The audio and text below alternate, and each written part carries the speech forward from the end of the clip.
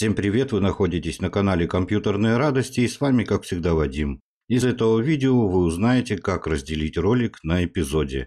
Давайте определимся, для чего нужны эпизоды. Для этого, я считаю, надо начать всегда с правил YouTube. Итак, давайте туда сейчас перейдем. Вот я перешел в правила YouTube, эпизоды, видео. Чтобы зрителям было проще находить нужные фрагменты видео, вы можете разделить его на эпизоды. Каждый эпизод отмечается на временной шкале, а если навести на него указатель мыши, появится окно предпросмотра. И тут самое главное, нам необходимо выучить вот эти пункты. На странице сведения о видео в поле описания укажите временные метки и название эпизодов. Первый эпизод должен начинаться с отметки 00, двоеточие 00. Всего видео можно добавить не менее трех эпизодов. Перечислять их нужно в порядке появления в ролике. Минимальная длина эпизода 10 секунд. Итак, давайте я сейчас на примере одного видео покажу правильно, как это все делается. Для этого нам необходимо зайти в творческую студию. Как это делается, я вам много раз показывал, должны уже знать. Вот я перешел в творческую студию, и вот на этом видео, как создать статью в Яндекс.Дзен, я хочу сделать разбивку на эпизоды. Эпизоды называют еще тайм-коды, главы и так далее. Давайте сейчас перейдем на это видео. Для этого в левой колонке нажимаем «Контент». Теперь наводим мышку на видео, где я хочу поставить тайм-коды, и нажимаем на «Сведения» у нас открылась вот такая страница, и вот здесь вот в описании нам необходимо вставить тайм-коды. Для того, чтобы вставить тайм-коды, вам необходимо просмотреть полностью видео.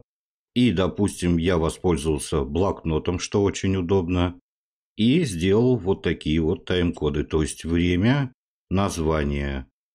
В списке должно быть как минимум три метки, как мы помним, и название лучше выбирать по возможности короткие информативные названия, чтобы зрителям было проще понять, что происходит в эпизоде. Вот таким вот образом я назвал эти метки. И теперь я просто-напросто все это копирую.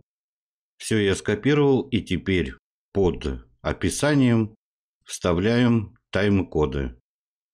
Вот я добавил тайм-коды в описание и теперь нам осталось нажать кнопочку «Сохранить». После этого нам необходимо перейти на видео и посмотреть, как это все выглядит. Как видите на временной шкале воспроизведения отображаются отрезки разной длины. Вот они у меня находятся.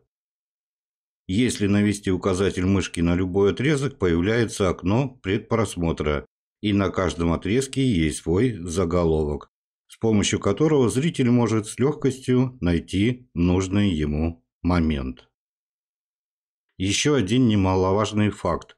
Google поощряет использование тайм-кодов, видео получает дополнительные преференции при ранжировании.